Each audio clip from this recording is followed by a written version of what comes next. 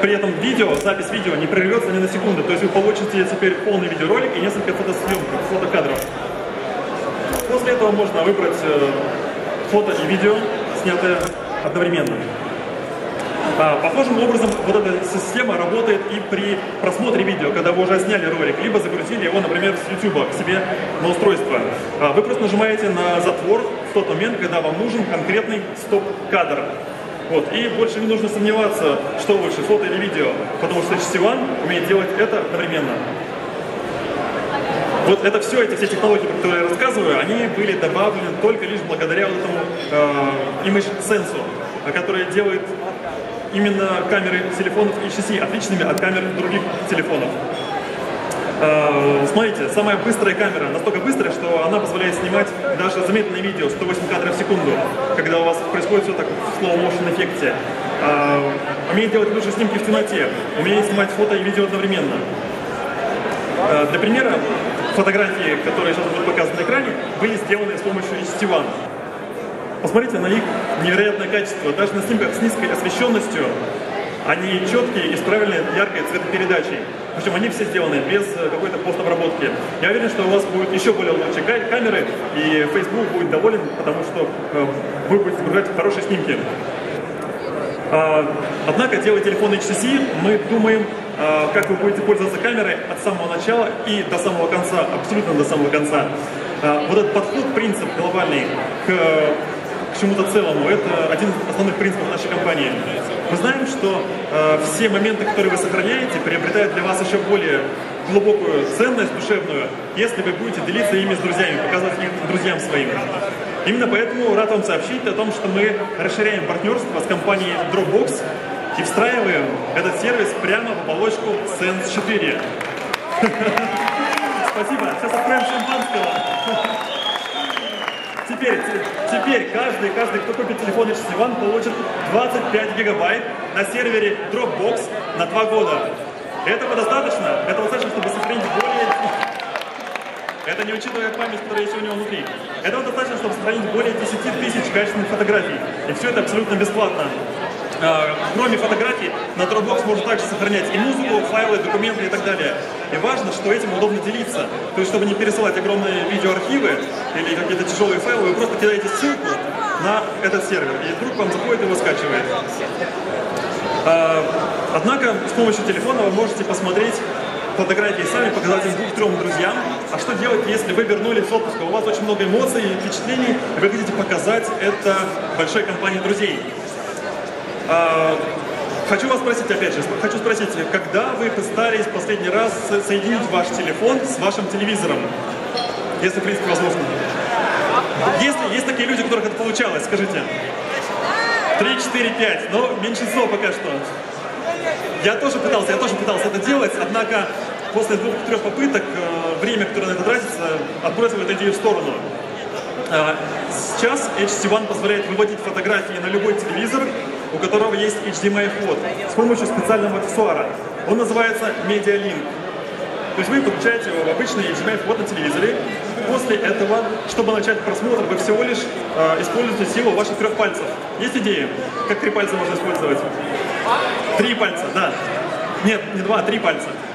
Вы тремя пальцами пролистываете по экрану вверх, и начинается показ видео. Причем важно, что э, этот режим работает и в обратную сторону. То есть тремя пальцами вниз вы выключаете его. Это вся настройка, на самом деле, честно, вся настройка, которую нужно сделать. Ну и еще нужно подключить, найти HDMI разъем в вашем телевизоре. Вот, это легко, можете потренироваться прямо сейчас. А, также, также MediaLink поддерживает параллельный режим работы. Что это такое?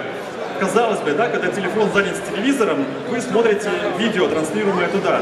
Однако параллельный режим работы позволяет также одновременно, э, не знаю, работать с почтой, э, читать твиттер, э, бродить по интернету. То есть делать абсолютно другое, не связанное с показом видео, и ничто не прервется на секунду. Ваши друзья будут смотреть фотографии, смотреть видеоролики, вы будете работать с телефоном, потому что это ваш телефон, это ваш личный девайс. Вот такие возможности. Мы вложили много сил в разработку камеры, потому что знаем, как она важна для вас.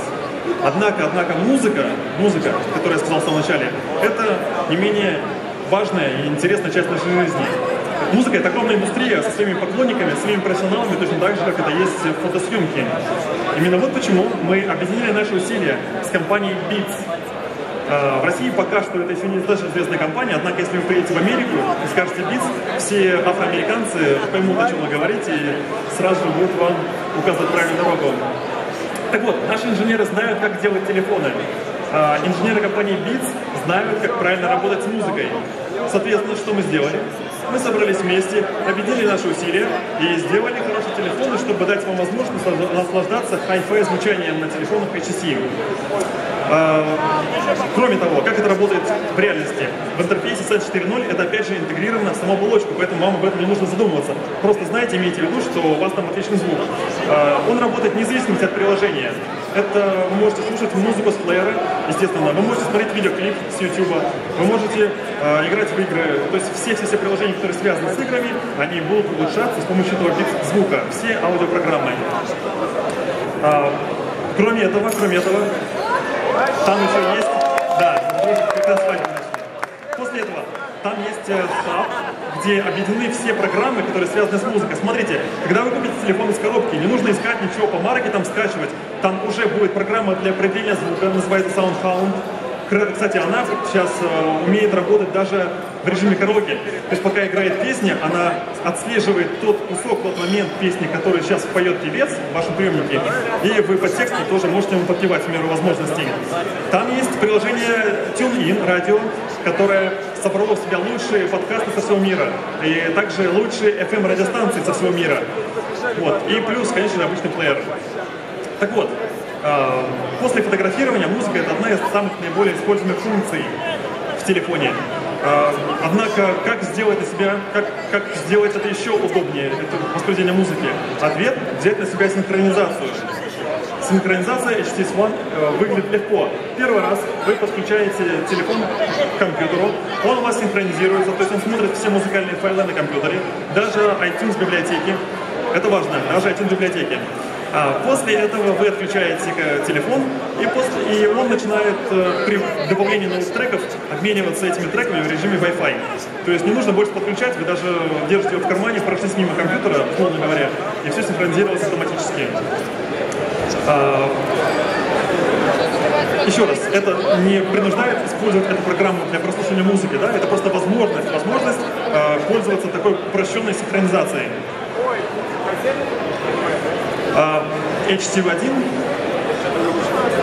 HTC One, это манифест нашего наследия, такими словами говоря. При этом еще и инновации в дизайне. И недавно мы дали телефон нескольким людям попробовать его, узнать их впечатления. А, несмотря на то, что они говорят по-английски, я думаю, что вы их легко поймете, потому что язык эмоций, он универсальный. Поэтому давайте вместе посмотрим на этих радующихся людей и оценим их реакцию. My first cell phone, I waited pretty long to get a cell phone. Um, I had a flip phone. I just remember it was in a box and had an antenna. It was a like tiny little phone.